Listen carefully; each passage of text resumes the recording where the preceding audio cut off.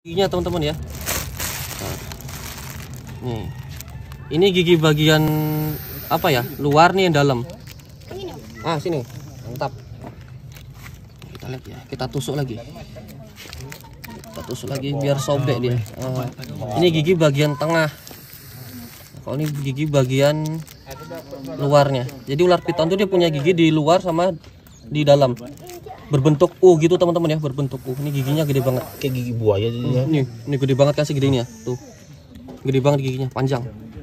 Nah, kalau waktu itu Amar kegigit yang 7 meter nih. Masih ada ya bekas giginya sini, kepalanya gede banget. Kalah gedenya nih. Ini sobek. Nih, gigi ular piton ya guys ya. Nih, hati-hati kalian kalau gigit ular piton, jangan ditarik. Kalau ditarik sobek.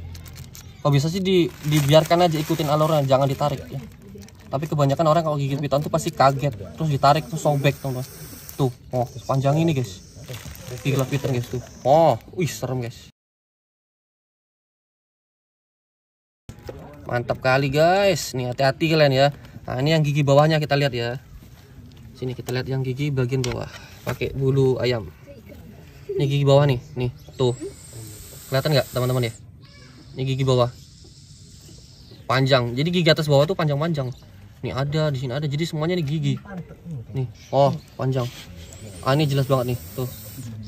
Se- segini guys. Oke guys ya. Oke mantap guys. Semoga bermanfaat ya guys. Mantap.